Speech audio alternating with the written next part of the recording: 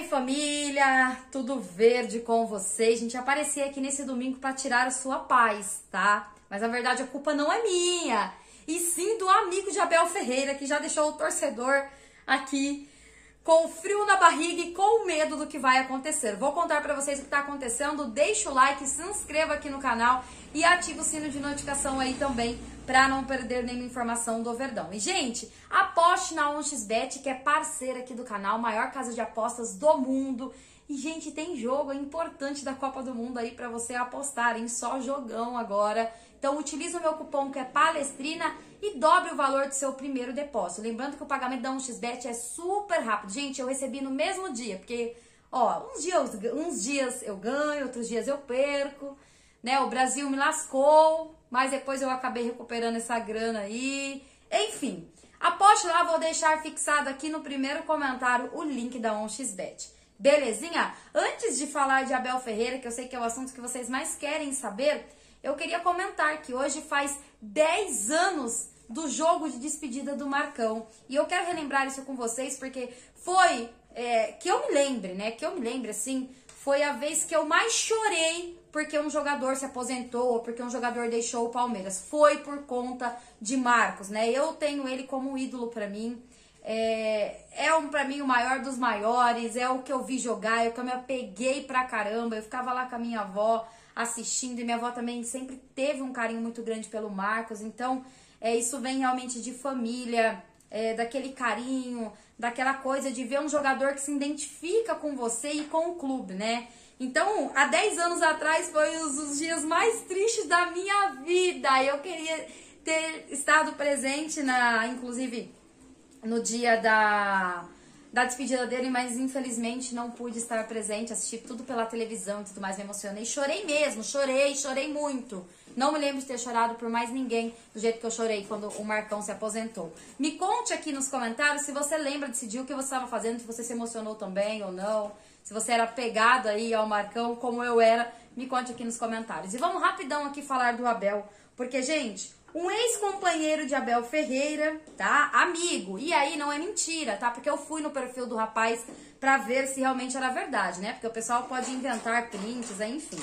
Internet, vocês sabem como funciona, né? É, Preto Casagrande fez uma postagem polêmica nas redes sociais. O ex-jogador que foi companheiro de Abel Ferreira, tá? Ele jogou aí com Abel Ferreira é, reencontrou o atual treinador e essa foto é de hoje, tá? Porque a camisa, eu fui lá nas publicações, nos stories, e a camisa que ele tirou a foto com a Bel Ferreira é que ele tá hoje aí numa festa, enfim, alguma coisa do tipo, tá? Ele falou o seguinte na postagem: 20 anos depois, vocês estão vendo a foto aí, né? 20 anos depois, jogamos juntos no Vitória de Guimarães, com o próximo treinador do Brasil. Boa sorte, Mister, né? E marcou lá a Bel Ferreira, também marcou o João Paulo Sampaio.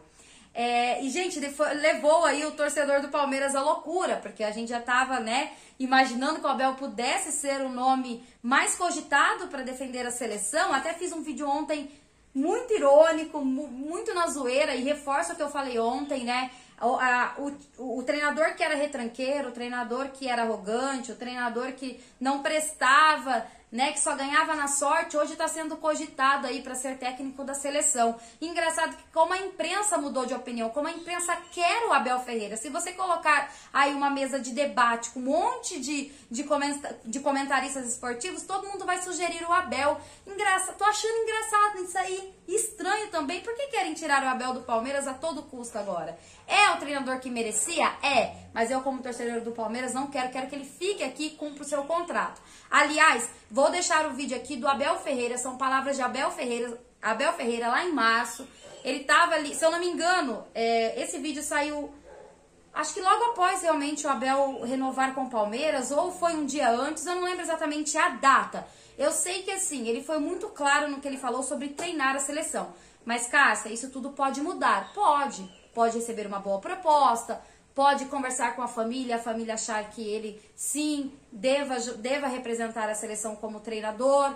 Vai acontecer muita coisa ainda nesse, é, nesse ano que vem. Mas eu prefiro acreditar na palavra de Abel que ele não tem interesse em treinar a seleção. Né? Mas vamos aguardar. Se ele for, eu não serei mal agradecida e não vou julgar o técnico por isso, porque ele tem todo o direito. E se tem alguém que merece é Abel Ferreira. Fique com o vídeo e quero saber o comentário de vocês. O que vocês acham aí dessa foto do amigo, companheiro, ex-jogador é, que jogou junto com o Abel. E também dessa fala do Abel aí ao ser perguntado sobre treinar a, a uma seleção aí, a seleção brasileira. Tamo junto, vejo vocês até mais. Avante, palestra. Eu vou ser honesto, não tenho intenção nenhuma a curto prazo de ser treinador de seleção. Nenhuma. É um tipo de. Não do trabalho, obviamente. Ser técnico de seleção é um. Mas sobe eu posso, um eu posso projetar já aquilo que eu penso para mim a, a curto, médio, médio prazo. Eu quero cumprir o meu contrato com o Palmeiras e depois fazer um, uhum. um ano sabático, uh, sair fora. É, o, é a minha intenção é esta, é estar no Palmeiras. Não tenho intenção nenhuma de treinar a seleção neste entretanto, nestes dois anos. Um, eu gosto muito de, de planificar a minha, fazer o plano da minha carreira. Já vos disse, eu vim para o Palmeiras contra a vontade da minha família, contra a vontade, eu já disse isto, foi, eu cheguei aqui, cheguei aqui por convicção própria, porque sabia o que clube que era, porque estudei o clube, porque era um grande clube que me ia dar condições para lutar, para ganhar por títulos. Agora que aqui estou, os jogadores sabem disso, eu assinei e renovei porque queremos, não só quero, queremos continuar a lutar por títulos. Se vamos ganhar, não sei.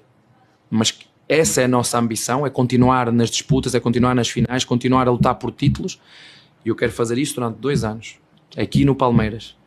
E no final destes dois anos eu quero ter um ano sabático para depois, então depois sim, eh, falamos sobre seleções, falamos sobre clubes, falamos sobre aposentadoria, agora eu tenho que fazer isto.